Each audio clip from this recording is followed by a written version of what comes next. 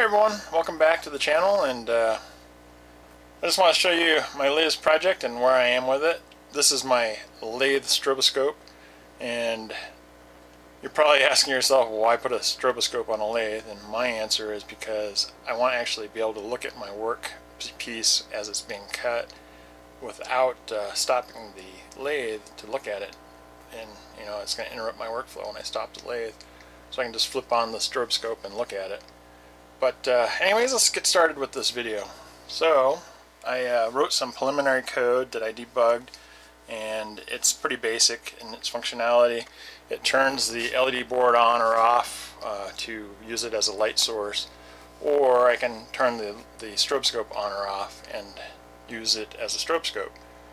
Also, I can change the uh, location where I'm looking at the rotation of the strobe, so I can look at different locations on the workpiece. Uh, let's see, the basics here are I have my sensor board which has got a, a uh, photo transistor and a LED um, on it. I showed that in my last video. Uh, I had a 10 position encoder board before. I changed it out with a single position because I was getting some weird jitter problems.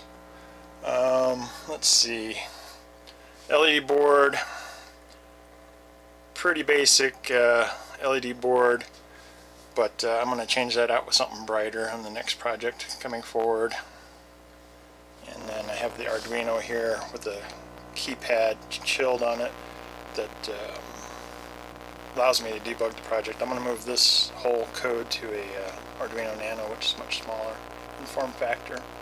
Let's see how this actually works. Turn this guy on. Oh, before we do that, I drew some uh, little smiley faces on the uh, lathe chuck here and I put a little line on a bar on this aluminum that's in the bar stock here and uh, let's go ahead and turn it on.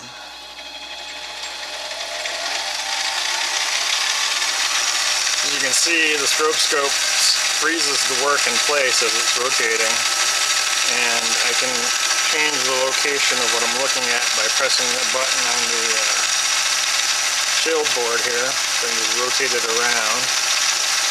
Go back the other direction. And then um, I can turn the stroboscope off. Turn it back on. Or I can turn the LED lighting on so I can use the LED as a light source. Back to the stroboscope. So anyways, that's pretty much it in a nutshell. And uh, I hope you liked this video. If not, there's a little frowny face for you.